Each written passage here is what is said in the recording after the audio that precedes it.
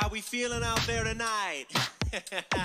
yeah, I am not feeling good. So much more! It has a stream deck, guys. This is the future. This is the future! Drum roll, please. I'm not even being dramatic when I say that this is going to absolutely change everything. All right, streamers, I know that every video that you come across on YouTube is this big, glamorous clickbait title, but I'm telling you guys, this is the real deal. First off, how many of you have actually heard of StreamerBot already? Go ahead, tell them. Tell them it's the real deal. It's the real deal. Keeping an eye on your viewer list, making channel points, creating timed events, making commands, voice control, hype train events. It even has support for hotkeys. It even has support for slobs. Yes, you heard me, guys. It even has support for slobs. You can even code chat. There is so much much that StreamerBot can do that we can't possibly get into every single little detail of it. But I'm going to go over the basics that every streamer can utilize on their everyday stream. Because if not, this video is going to get long as fuck.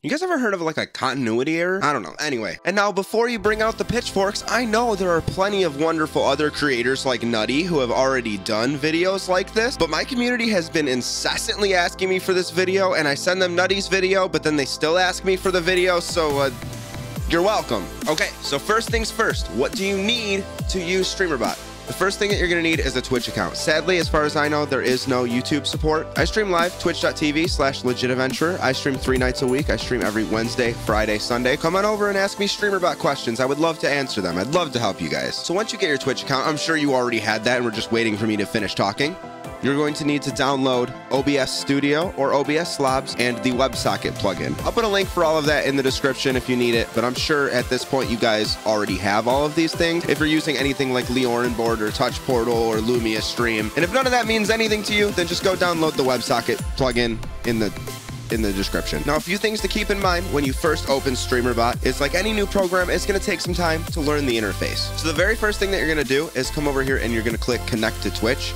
and that is going to connect you to Twitch.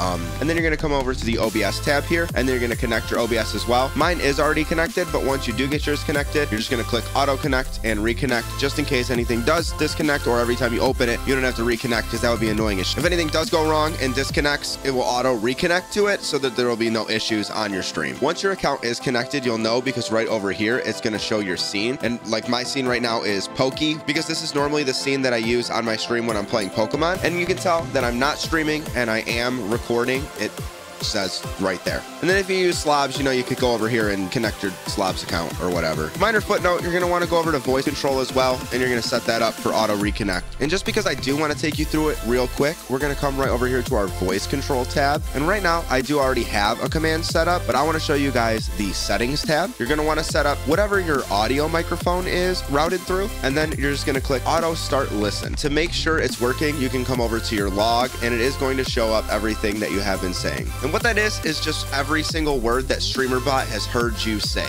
I mean, it's it's a log. And then, if done successfully, you can do things like this. Drum roll, please. And I know the real reason you're here is the channel points. We're gonna get into it. Now, everything on StreamerBot runs through what is known as actions. So before we get into the actions tab, we're actually gonna come right over to our channel point rewards tab. Any channel point that is owned by Twitch cannot be interacted with on StreamerBot. So what I mean by that, this channel point right here is called Twitch owns this channel point. I just made it on Twitch for this video. If you look over here to where it says owned, you can see that it says no. So what you have to do, either you're gonna have to delete it from StreamerBot completely and then just just recreate it from scratch, or you can duplicate it, and then it's going to create a copy. Then you can go back here and you can delete this one from StreamerBot. There you go. And yeah, it's kind of a pain in the but don't blame StreamerBot. It's not their fault. Blame Twitch. And by that, I mean blame the fact that UI and coding and all of that is confusing as fuck. Do you guys understand it? I don't understand it. So you just spent the last six hours duplicating all your channel point rewards. You finally came back to the video and now you're ready to learn about the actions tab. You can do so many things with your actions tab, like creating channel points like these, displaying sounds like these, or like these. And by the way, if you want to be a part of that channel point, that is my Boo redemption. I do have a spot over in my Discord called Boo. Send me a WAV file or an MP3 file, and uh, you can become a part of that channel point over on my Twitch chat. Or we can even get into some crazier stuff like this. How we feeling out there tonight?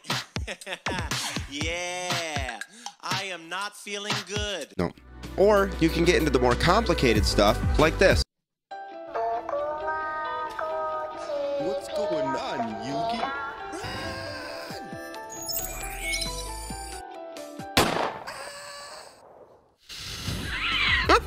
All right, so I know that this is the part where I'm gonna lose you guys, but please bear with me. This is the important stuff. I'm not gonna go too in detail with this stuff because it's gonna get really complicated really fast. I'm just gonna do a quick crash course to kind of get you guys started, okay? Okay, so this is our actions tab. Now this is every single action that I have on my stream. So in my actions tab, I have everything from individual sounds to all of the commands that I have in my Twitch chat. I even have actions similar to Dixper that I can activate through bits. I even have things like my raid alerts and my raid sounds set up here through StreamerBot. I even have all of my SnapCam filters linked up with my channel points, so it's all automated in real time through StreamerBot. I even have something as complicated here as a panic button. This was something that I learned from Nutty back when the hate raids were a thing on Twitch. Uh, essentially, what this button does is it plays a sound, it triggers sub-only mode so that only subscribers can chat, and then I have a folder here that is before clear. So what that means is my Twitch chat is going to drop all of these messages into the chat before it clears my messages. And then I have it set up to clear the entire chat and then spam more messages. There's a delay and then it turns sub only mode off. So basically what that does is it just eliminates all of the hate bots. It gets rid of all of their messages and it gets rid of them from being able to chat unless they want to spend money on us, which then we'll just ban them after they spend money on us. So thank you. Or even things like fire sales that makes all of my channel points available for 1.4 X amount of time.